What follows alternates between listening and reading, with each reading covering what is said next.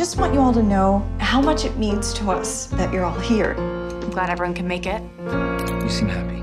I am. Just a perfect day. Dear Heavenly Father, we thank Thee for Thy food and help us to do our part with kind words and loving deeds. It gets dark, we go home. Get back. Someone's trying to break in. Okay, go.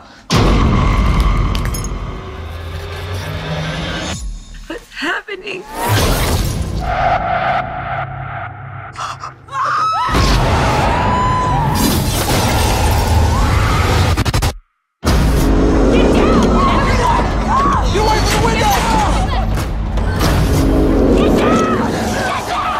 What are you doing with that? What are we supposed to do? We don't know what they're planning. They're not here to scare us.